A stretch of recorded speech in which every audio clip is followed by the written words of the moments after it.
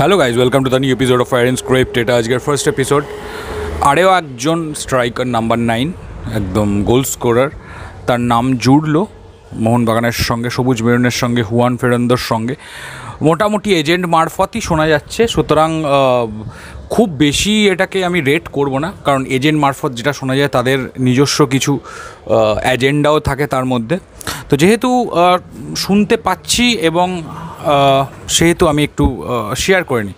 কারণ তোমরা জানো, অনেকেই জানো, যে যেটা আমি বলছি, সেটা কিছু, কিছুটা ঘটছে বলেই বলছি। এবার পুরোটা হবে কি না সেটা তো সময় বলে। তোমরা, তোমাদের লাস্ট দু তিন বছর আমরা ট্রান্সফার মার্কেটটা এরকমভাবেই বলেছি। তোমাদের কাছে কিছুই অজানা নয়। অনেক সময় প্রি কন্ট্রাক্টের পরেও অনেক সময় গন্ডগোল হয়, অনেক সময় তোমরা এই মানে খুব রিসেন্টলি দেখেছ। অনেক দূর এগিয়ে গিয়েও দু তিনজনের সঙ্গে হয়নি, সুতরাং হবে কি হবে না আমি বলছি না বাট নাম জুড়লো লিঙ্ক আপ হয়েছে লিঙ্ক আপ নিয়ে একটু ডিসকাশন করি।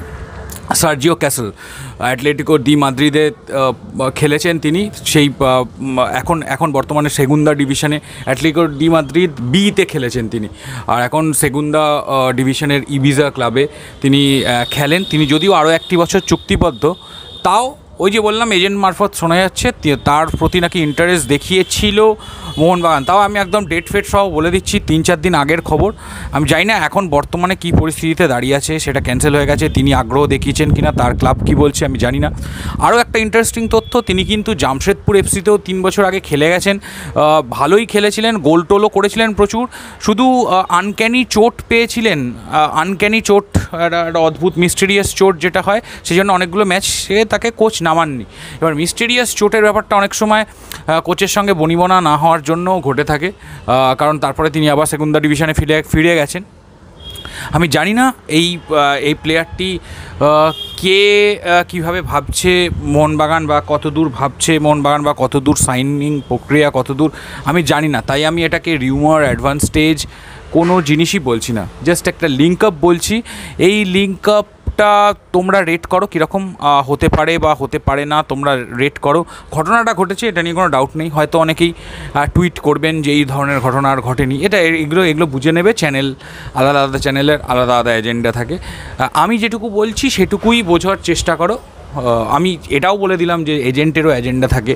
সুতরাং কনফার্ম ধরে নেওয়ার কোনো কারণ নেই। তবে এই প্লেয়ারটা আসতে পারে। তোমরা একটা কাজ করো, এই প্লেয়ারটা এলে এই প্লেয়ারটা এলে কেমন হবে সেটা কেমন হবে আক্রমণ ভাগ সেটা তোমরা কমেন্ট করে জানাতে পারো। আর তোমার তোমরা যদি কিছু নাম শুনে থাকো, সেই নাম নিয়েও আলোচনা করতে পারো।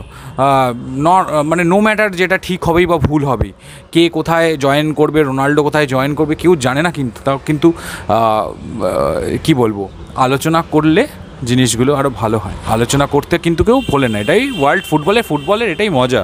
তো তোমরা কমেন্ট করে জানিও। ব্যাস আর ভিডিওটা বড় করব না, ভিডিওটা ভালো লেগে থাকলে লাইক কমেন্ট শেয়ার আর নতুন যারা আছে অবশ্যই সাবস্ক্রাইব পার্টিসিপেট করো পার্টিসিপেট করো কমেন্টে ডিসকাশনে লেটস ডিসকাস